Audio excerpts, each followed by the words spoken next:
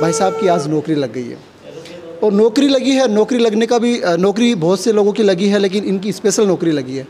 हम बात करें, ये लिख भी नहीं सकते हैं, चल भी नहीं सकते। सभी चीज़ों को छोड़कर पढ़ाई के प्रति समर्पित होकर अपने आप को और अपने परिवार के सपनों को सजोए और उनके सपनों पर फूल चढ़ाने का काम करे। जय हिंद, जय भारत।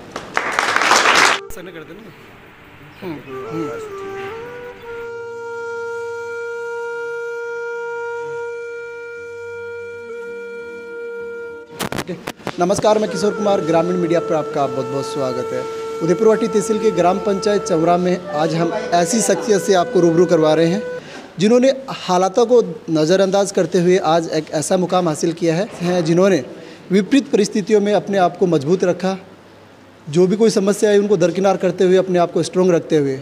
ऐसे इस भौतिकतावाद के ज़माने में जिस प्रकार से हम बात करें कि युवा वर्ग है, जो आज पिछड़ता जा रहा है स्टडी की बात करें, पिछले दो साल से एग्ज़ाम नहीं हो रही है, एग्ज़ाम हो रही है तो रिज़ल्ट नहीं आ रहा, रिज़ल्ट आ भी रहा है। तो उनको मतलब बात करें तो नौकरी नहीं भी लग पा रही है, बहुत से लोग हैं जो परेशान हैं। युवा वर्ग में सबसे ज़्यादा ये चीज़ हमें देखने को मिल रही है। ऐसी परिस्थितियों में अपने आप को स्ट्रोंग रखा, अपने आप को प्रिपेयर रखकर तैयारी की और जैसे हम इनकी कंडीशन आपको दिखाएँगे तो आप खुद ये सोचेंगे कि क्या बहुत ज़्यादा परेशानी इस घर में थी दाने दाने के लिए ये परिवार मोहताज था। इस परिवार की हालत हम आपको दिखाएँ।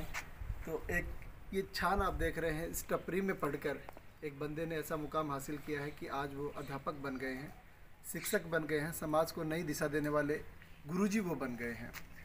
और उसकी बैकग्राउंड की हम बात करें कि उसकी पारिवारिक स्थिति है वो आप देख ही रहे होंगे ये तो इनकी चार ये झोंपड़ी है जिसमें रहकर वो स्टडी करते थे।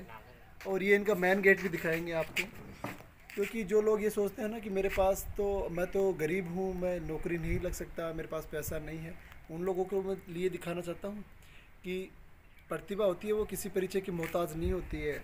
आपको कुछ हासिल करना कर जाते हैं। और ये इनकी परिवार की स्थिति है, बीपीएल परिवार है।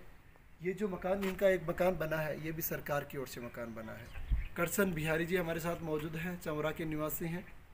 जैसे ही दो दिन पहले रिट का रिज़ल्ट आया तो इनके घर में जिस प्रकार से खुशी का आलम था, वो देखने लायक था, क्योंकि जिस प्रकार से इनके पिताजी हैं, ये इनके माताजी हैं परिवार की स्थिति कितनी नाजुक है वो आप देख ही रहे हैं। मैं बताऊँ इससे पहले, और एक जवान बेटा जब चार पाई पे ही सीमित रह जाता है तो वो घर वालों पे बोझ बन जाता है कि आखिर मुझे बाप बाप है, अपने आप को तो कैसे भी ये कैसे भी मजदूरी वगैरह करके अपना पेट भर सकते हैं, लेकिन इनके ऊपर ये भी सबसे बड़ी समस्या आ गई थी।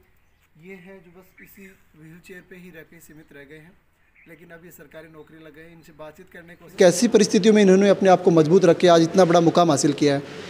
हमारे साथ है करसन मुरारी जी, करसन बिहारी जी, जिन्होंने विपरीत परिस्थितियों में अपने आप को स्ट्रॉन्ग रखते हुए आज रीट का जैसे इनका रिज़ल्ट शाम को आया था तो चारों ओर खुशियों का आलम था। वो इसलिए था कि भाई साहब की आज नौकरी लग गई है। और नौकरी लगी है, नौकरी लगने का भी नौकरी बहुत से लोगों की लगी है, लेकिन इनकी स्पेशल नौकरी लगी है।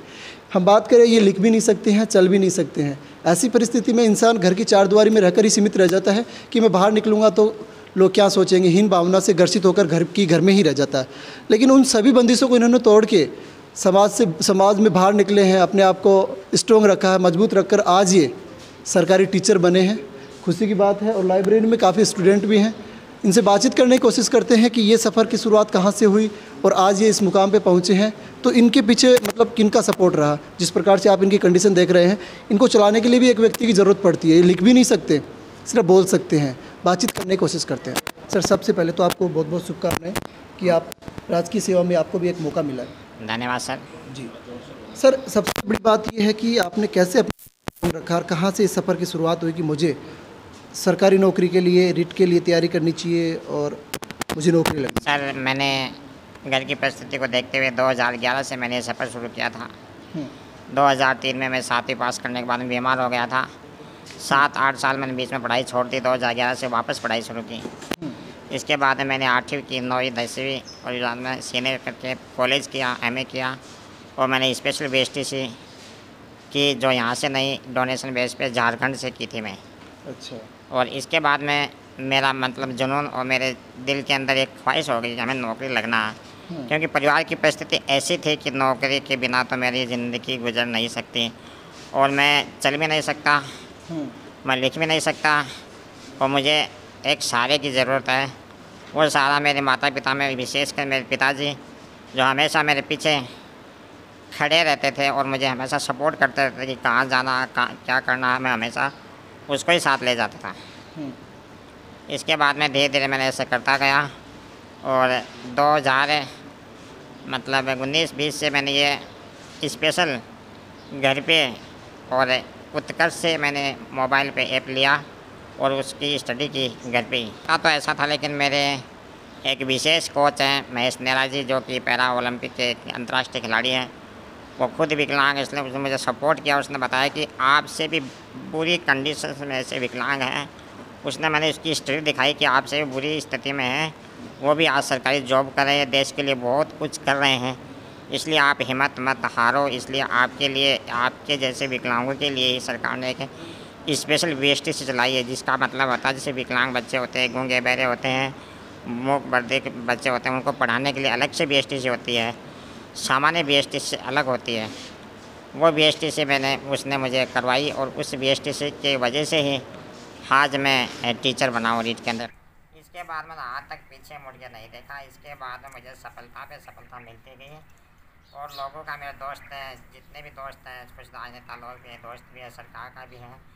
और मेरे विशेषकर मेरे माता पिता का सहयोग मुझे मिलता गया मिलता गया और मैं आज इस कड़ी से कड़ी से कड़ी जुड़ते गए, आज मैं इस मुकाम पर पहुँचा।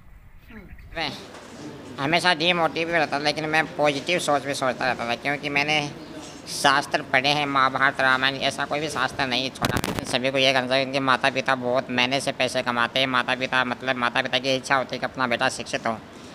और जो माता पिता इतनी मेहनत से आज की तारीख में कोरोना काल के बाद में मतलब ऐसे ही पैसे कमाने और मतलब इतनी मतलब कठिन समस्या आए कि इतनी कठिन समस्या में वो पैसे कमाते हैं अपने बेटों के अपने बेटे और बेटियों को पढ़ाते हैं।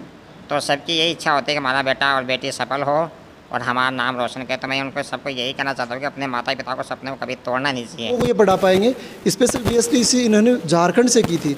और सबसे बड़ी बात इन्होंने ये भी बताई है कि मेरे परिवार की जो बैकग्राउंड की स्थिति है, बहुत नाजुक है। इनके पिताजी हैं, उनको भी लकवा हो गया था, लेकिन इनके घर का भी पूरा इनको सपोर्ट मिला है। और आज ये सरकारी जॉब में लग गए हैं। रीट की एग्ज़ाम फाइट करके आज ये समाज को नई दिशा देने वाला जो अध्यापक होता है, वो ये बन गए आज बड़ी खुशी है लाइब्रेरी के सभी स्टूडेंट यहाँ पे मौजूद हैं। इनको लड्डू खिलाए जा रहे हैं सभी स्टूडेंटों को। और इन्होंने ये भी कहा है कि आप स्टूडेंटों को जो भी लाइब्रेरी में पढ़ रहे हैं, कि आपके माता पिता है, विपरीत परिस्थितियों में कैसे मेहनत करके आपके लिए पैसे जुटाते हैं। आप उन पैसों का सदुपयोग करते हुए, अपने माता पिता के सपनों को संजोए हुए, उनको आप सरकारी नौकरी लगकर उनको एक बड़ी वो खुशी दीजिए, जो माता पिता को ज़िंदगी में सबसे बड़ी खुशी वो मिलती है। कि उसका बेटा सक्सेस होता है। तो काफ़ी संख्या में यहाँ पर लोग भी मौजूद हैं। यही वही करसन मुरारी हैं, जिनको पिछले काफ़ी दिनों से मैं सोशल मीडिया पर भी देखता था। कोई भी एक्टिविटी होती थी तो ये एक्टिव रहते हैं। और सबसे बड़ी बात ये भी हम आपको बता दें कि मुख्यमंत्री से भी ये मिल चुके हैं। बड़े बड़े राजनेताओं से इनके संपर्क हैं। छोटे ज़रूर हैं, चल नहीं सकते हैं। कारनामे इनके बड़े बड़े हैं। काफ़ी लोग यहाँ पर मौजूद हैं। और सबसे बड़ी बात इन्होंने ये बताई तो ये वीडियो बनाने का मकसद सिर्फ़ इतना ही था।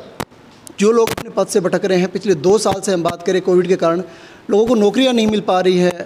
कोविड के कारण काफ़ी लोगों के जो सपने हैं वो उजड़ से गए हैं।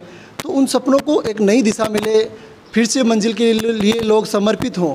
उसलिए ये वीडियो बनाया गया कि लोग इसमें मतलब अपने आप को कमज़ोर नहीं समझे, टेंशन में नहीं लोग काफ़ी लोग हैं जो अपने आप को डिमोटिव करके घर पे बैठ गए यार नौकरी नहीं लग सकता। लेकिन इनको देखकर आपके अंदर एक कॉन्फिडेंस तो आएगा ना, आप तो सही हो, चल सकते हो, लिख सकते हो, बोल सकते हो, सब कुछ कर सकते हो, लेकिन ये तो वो नहीं कर सकते ना। आप इनसे एक आज आज से आप इनको अपना प्रेरणा स्रोत मानकर, अपने आप को पूर्ण कॉन्फिडेंस से। क्या होता है कि आत्मबल जब इंसान के अंदर आ जाता है तो बड़े से बड़ा लक्ष्य अचीव कर लेता है। और जब आत्मबल गिर जाता है इंसान का तो छोटी सी चीज़ से डर लगता है कि यार मैं नहीं कर सकता। लेकिन आप जानते हो कि आत्मबल को जगाने के लिए आपको मेडिटेशन करना पड़ेगा। मेडिटेशन करके पूर्ण रूप पूर्ण रूप से आप पढ़ाई के प्रति समर्पित होकर अपने सपनों को सजोकर आप अपने माता पिता को वो खुशी दीजिए, जिनके लिए आपके माता पिता हैं। वो आपको पढ़ा रहे हैं, आपके लिए खर्चा कर रहे हैं और आप इनको प्रेरणा स्रोत के रूप में लेकर आज से मैं आपसे फिर से निवेदन करूँगा कि आप सभी लोग सभी चीज़ों को छोड़कर पढ़ाई के प्रति समर्पित होकर अपने आप को और अपने परिवार के सपनों को सजोए और उनके सपनों पर फूल चढ़ाने का काम करें। जय हिंद, जय भारत।